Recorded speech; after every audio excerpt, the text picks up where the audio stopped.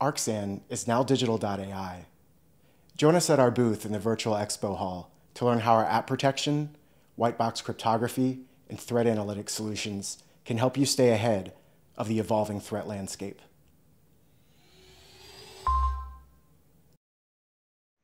Good day. This is Purple Team Strategies for Application Security. My name is Joe Schottman. I'm a senior security analyst. When I was trying to figure out what to call this presentation, I searched and searched for a word that means to make something more purple. And it turns out that there actually is a word and it's empurpling. But that's a really terrible word, so I decided not to use it. About me, I'm a senior security analyst for Truist, formerly BB&T, focused on application security. I've got a wide-ranging background. I've worked in web application development. I've done DevOps and system administration. I've done all kinds of blue team things, but mostly focused on threat hunting and doing incident response. For the past few years, I've been really focused on application security and penetration testing.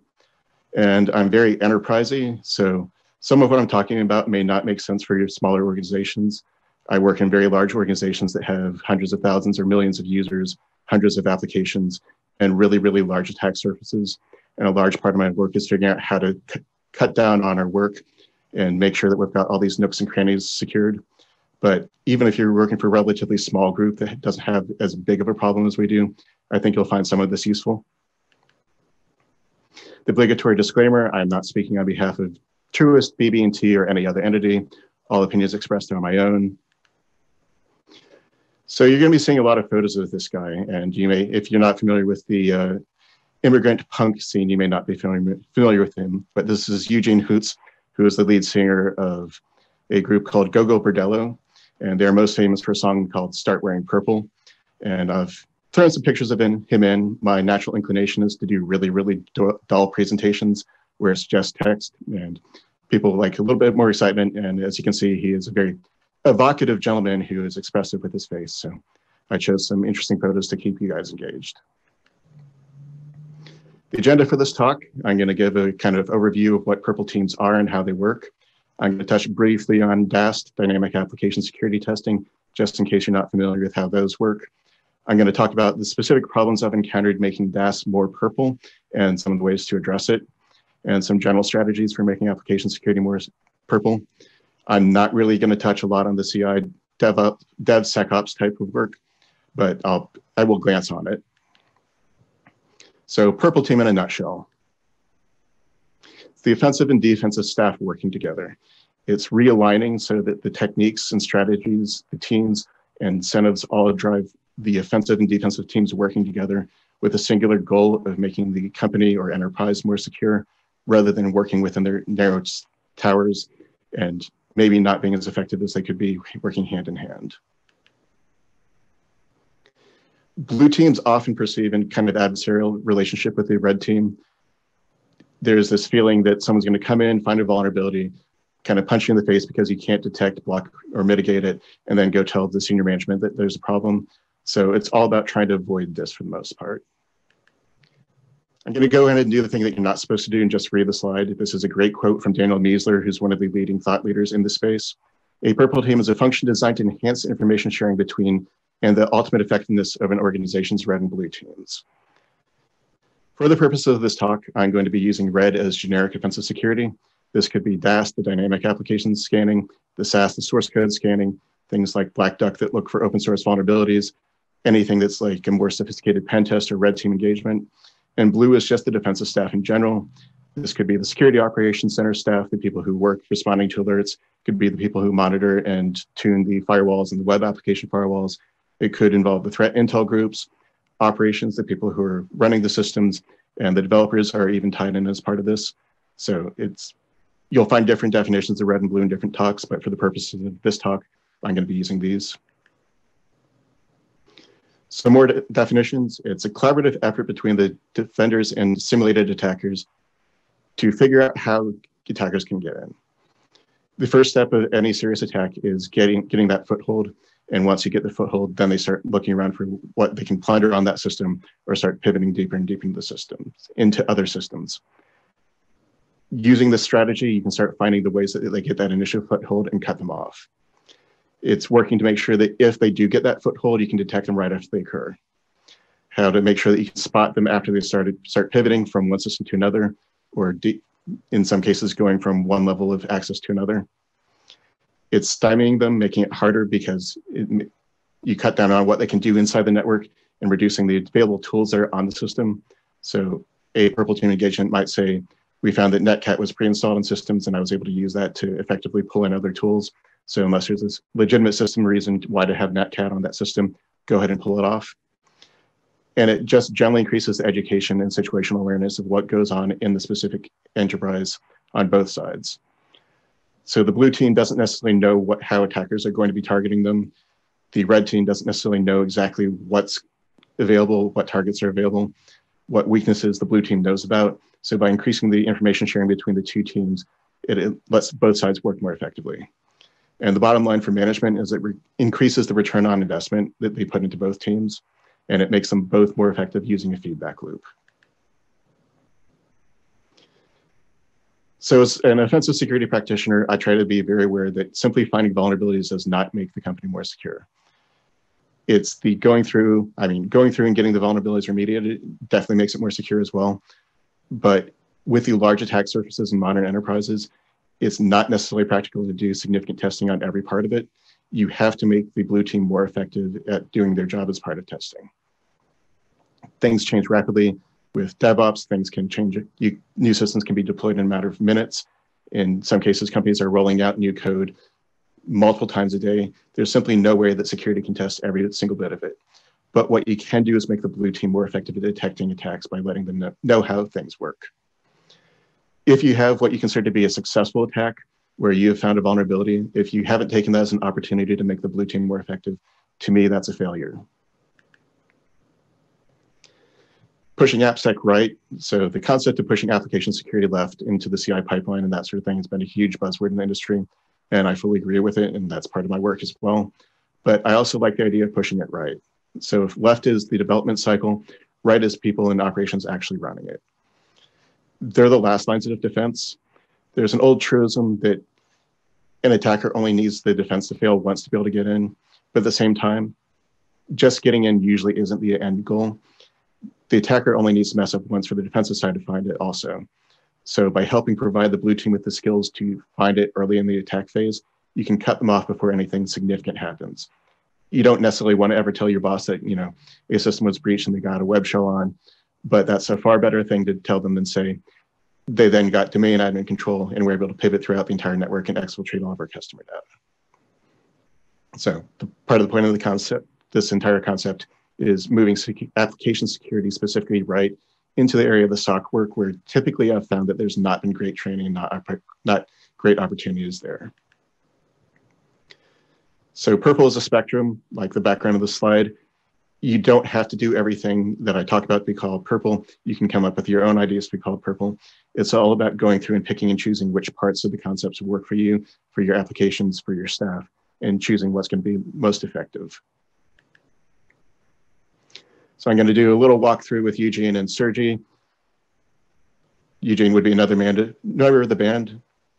So in a more conventional purple team engagement, we have Sergi over here, who is the penetration tester, and he lets the blue team know that he just used a zero day attack tool that just dropped, wants to know if there was any defensive capability spotting or mitigating it.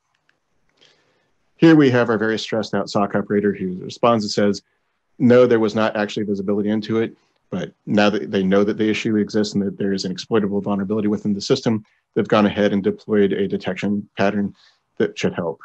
And in doing the research, he's also come up with some additional information that might be interesting to do in a retest of the, of the tool.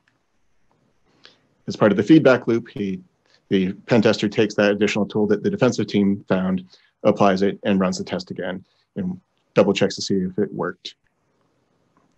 Yet again, our SOC analyst working in direct communication with the pen tester can say, okay, that part worked, and I've now enabled an additional feature in the in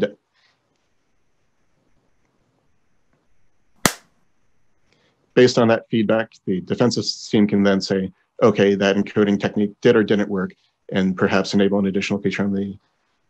It, based on that additional feedback, the defensive team can then say, okay, that encoding did or didn't work, and maybe enable an additional encoding tool to help be able to detect it. At the end of the day, the team working together has pulled off the performance and everyone takes a big bow. So just as a note, a purple team is not a team per se. It's not really someone's job title. It's a ethos and way of working where someone may still be red team, someone may still be blue team. It's just a way of changing how they think and how they interact with each other. When everything works well, the purple team system is relatively simple. You, the attackers locate a vulnerability, they exploit the vulnerability, they work together with the blue team to say where are the gaps in the logging and or mitigations and work to remediate it together. They resolve the issue and then they train the staff on what happened, how to detect it, and look for similar things. Some silos have observed working application security. The red team testing the applications may know how to attack the applications. They can run tools against it and look at what the results are, but they don't necessarily understand the underlying work. They may not know JavaScript. They may not know Python. Some silos have observed working application security. The red team may not know some silos have observed working application security. The red team may know how to attack applications, but they don't necessarily know how they work under the hood. They may not be familiar with the topology on the network is, whether there's a WAF, whether there's load balancing that might be affecting the results, and they don't necessarily understand how some of these can skew the results. The blue team can see the attacks happening and they can respond to alerts if there's alerts going off, but they don't necessarily know how to differ differentiate between the severity of different types of attacks, whether something is a, a successful SQL injection attack that needs to be acted on immediately or just noise on the internet. And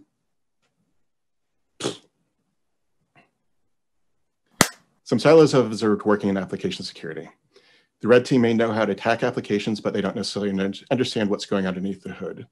They may not understand what the network topology is, whether there's things like WAFs or load balancers that may be throwing out the results. And as a result, they may not be getting the results they think they're getting. This can skew whether something is a true or false positive. The blue team can see the attacks happening. They can respond if alerts are going off inside their de detection engines, but they may not know how to differentiate between a successful and unsuccessful SQL injection attack.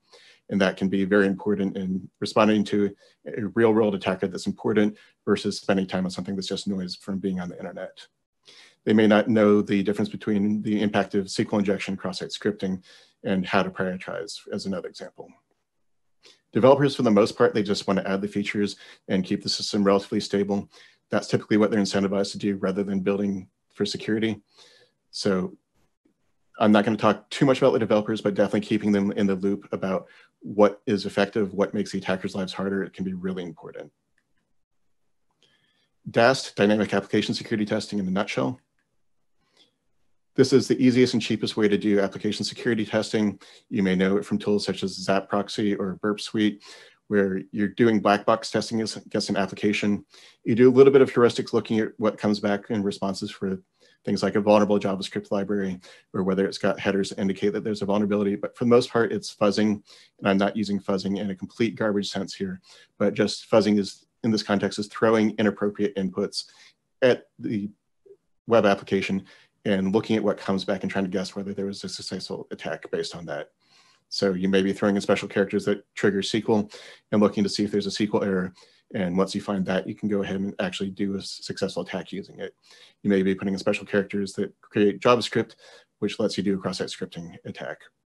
But the key point, it's all about interacting with a server, sending it something that the server is not expecting that it handles in an inappropriate manner and deducing that there's a, there's a vulnerability that way because it's doing all these tests blindly, it can generate tens of thousands, if not hundreds of thousands of requests to the web server.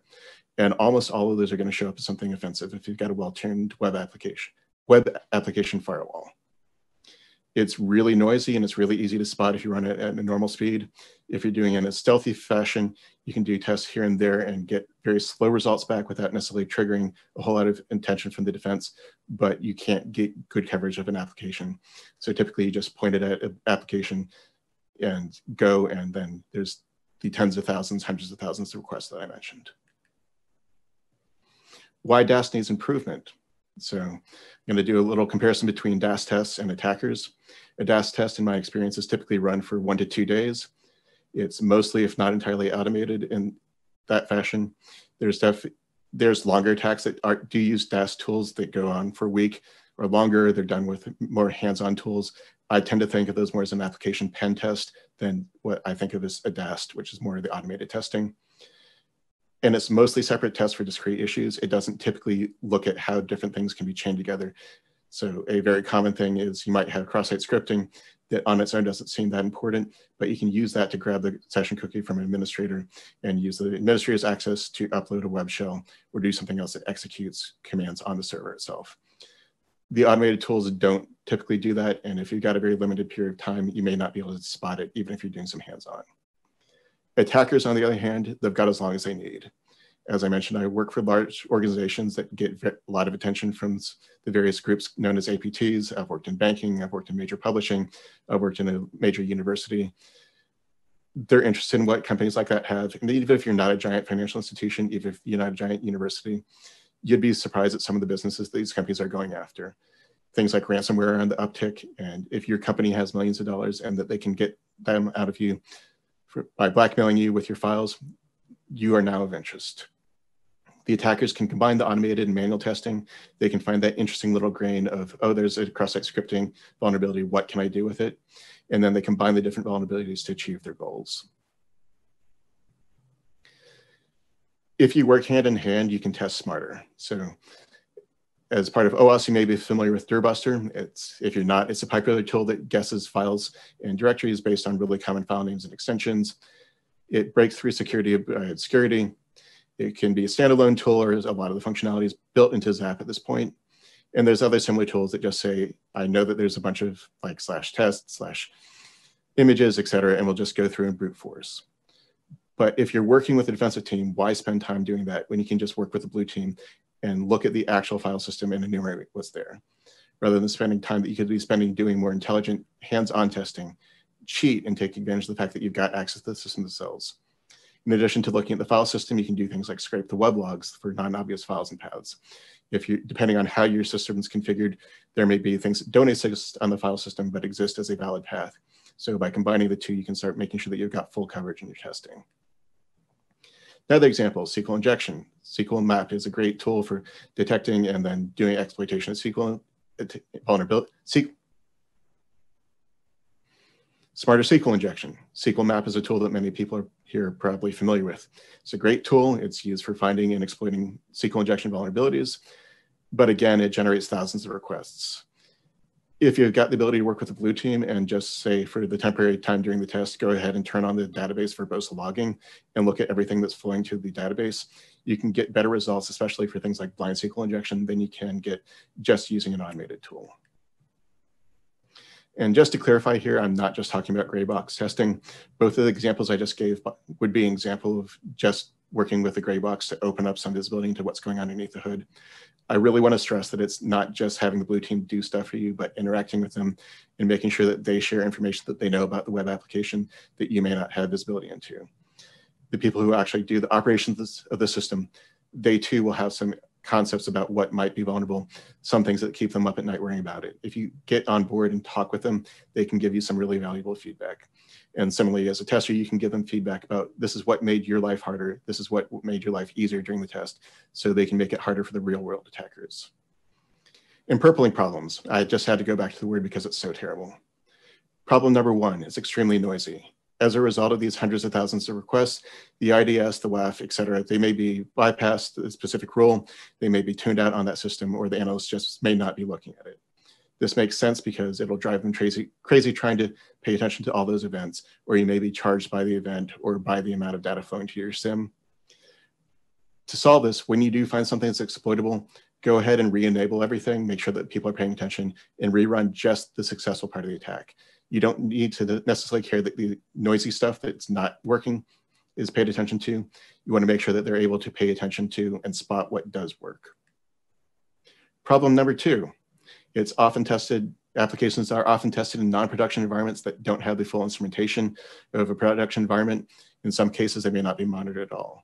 So you may have separate test infrastructure that may be a separate test WAF that may not have the same configuration as the main infrastructure. It may not have a WAF at all To solve this, again, it's very similar. When you have something that works, replay it in the production system to see if it's detected and acted upon. In some cases, you don't actually need to attack the production infrastructure. So if you have a dangerous vulnerability that could cause a production outage and you don't want to be running that against the main server. But if all you're doing is tuning a WAF or a IDS IPS, you can simply send those packets to a server that's not vulnerable. All that, all that those detection capabilities care about is that the offensive tool comes through the wire. So the fact that the server itself is not vulnerable doesn't matter, but now you've been able to tune and look and see whether your production infrastructure detects and or responds to that attack. Problem three, the blue team may not be successfully trained to successfully differentiate between successful and unsuccessful attack. So a big part of why I started speaking in the first place is I had SOC analysts coming to me asking things like, are we vulnerable to the one equals one attack?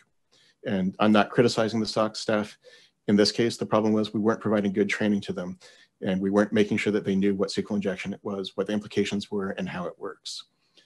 There's a big difference between a SQL injection attack that the WAF or IDS spots that has a 500 response and a 400 response, because in both of those cases, something went wrong and the attack probably didn't actually trigger.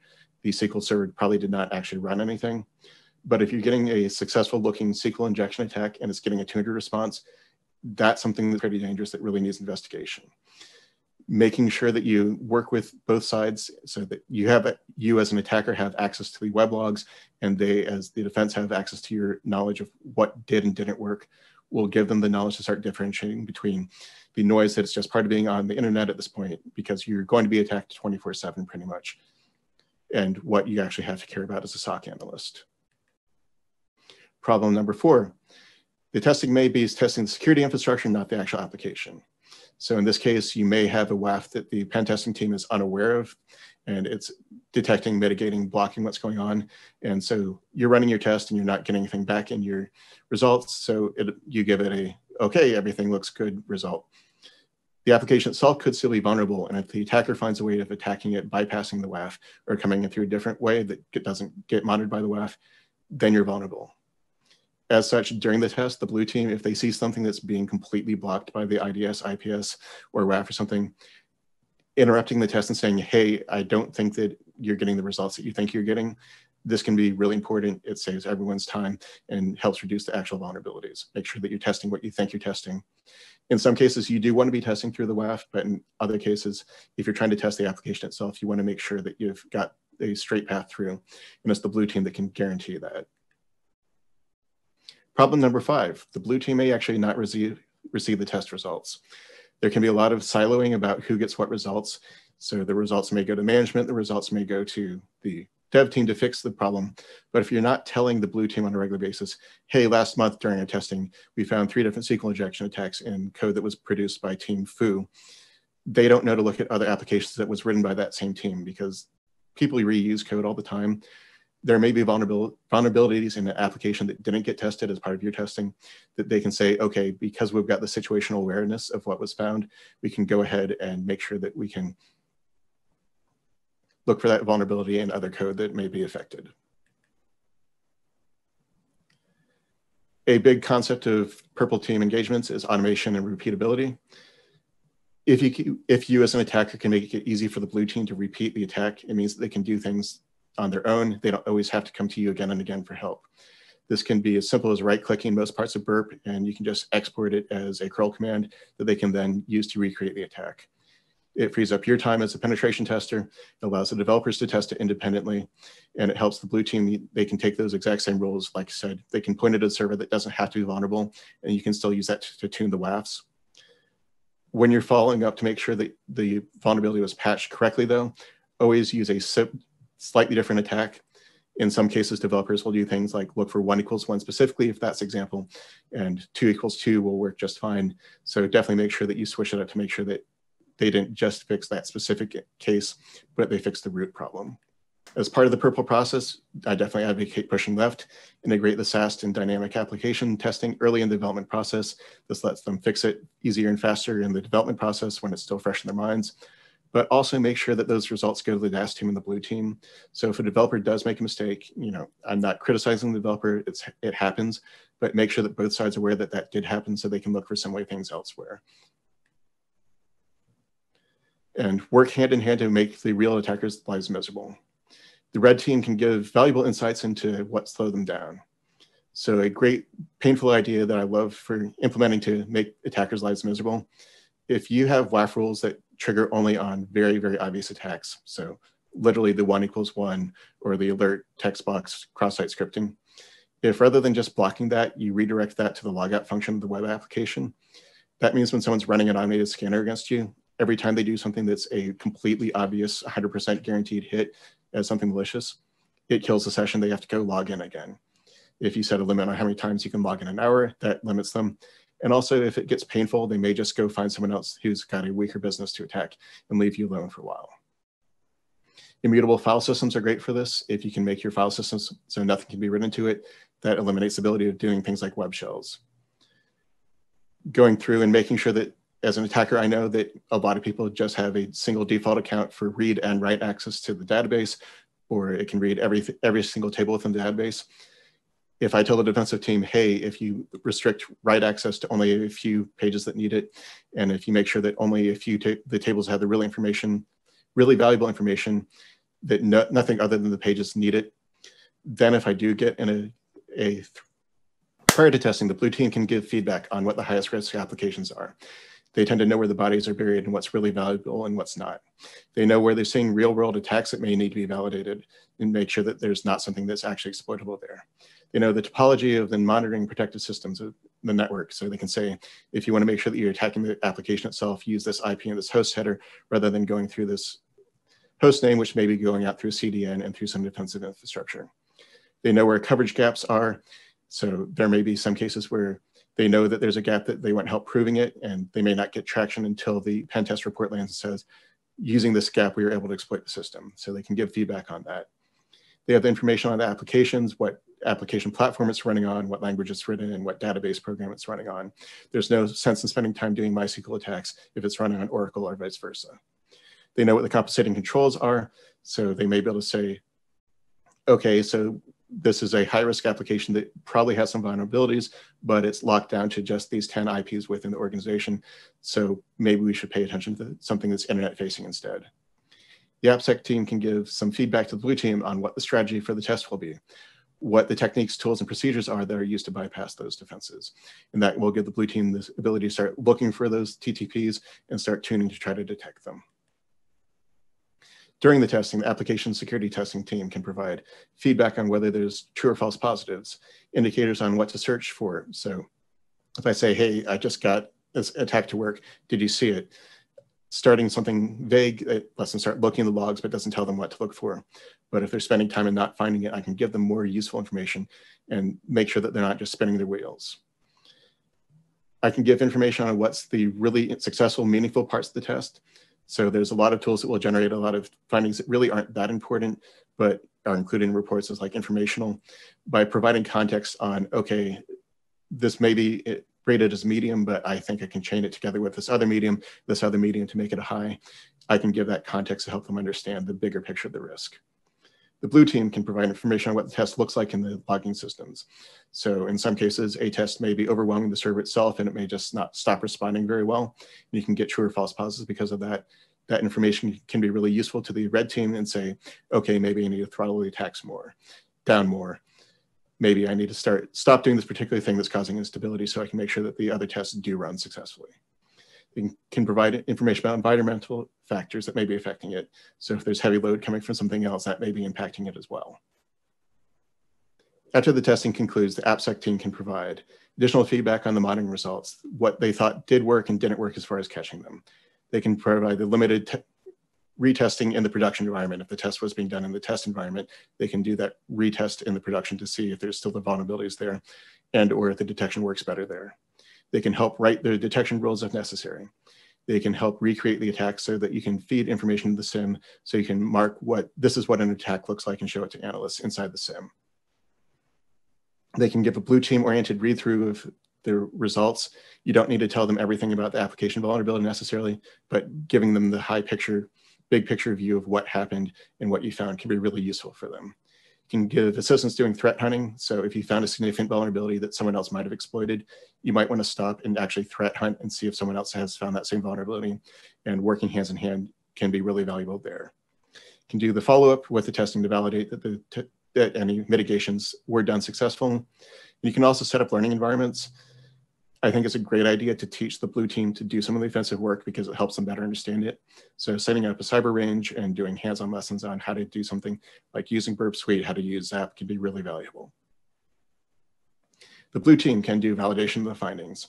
So there may be cases where the attacker thinks that something works successfully, but the blue team has access to the logs and can say, okay, it looks like it worked successfully, but we can prove using the logs it didn't.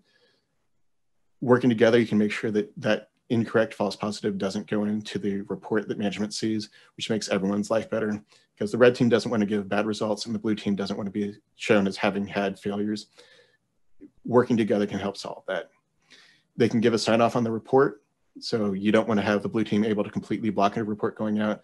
But again, if they th think legitimately something is a false positive, making sure that they have some ability to add a gate before it goes off to management can be really valuable, again, for both sides. And they can work to improve instrument, instrumentation to plug gaps. So if they find that there wasn't visibility into network segment on the IDS, they can make sure that that gets resolved.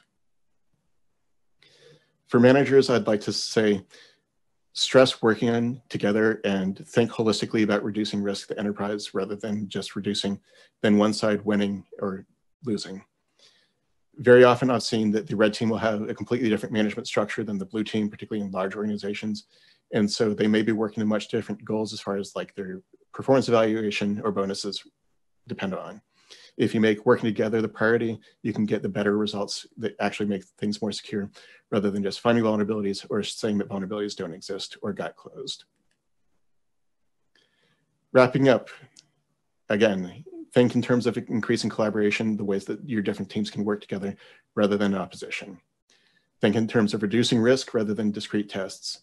So a single test in and of itself isn't the big picture. 10 tests taken singularly are not the big picture, but building a big picture with both the offensive and defensive team looking at those 10 tests and figuring out, okay, how do we remediate and close these gaps and how do we look for what else might exist based on these results is what gets you the best results. I Think in terms of pushing application security both left and right. It's not enough to just put things in the CI pipeline. You have to make sure, especially at the large enterprise scale, that your defensive staff is skilled at responding, detecting, mitigating, et cetera, attacks take every advantage you have against your attackers. Like I said earlier, there's the old truism in security that the, attacker, that the attackers only need the defense to mess up once to be able to get in. But think in terms of things like the cyber kill chain or the MITRE ATT&CK framework. Most attackers don't just want to get onto a system or have a very simple attack work. They want to get ransomware, they want to get PII, they want to get your private files. If you think in terms of detecting them at some point before they succeed in their goal, rather than simply in terms of stopping that initial detection, or that initial tech, that's where you're going to get the best value for your company. Questions, thoughts, you are welcome to hit me up on Twitter. I have DMs open. If you do a tiny bit of OSINT, you can figure out my email addresses, or during the event, I'll be available for chat during this. Thanks for your time.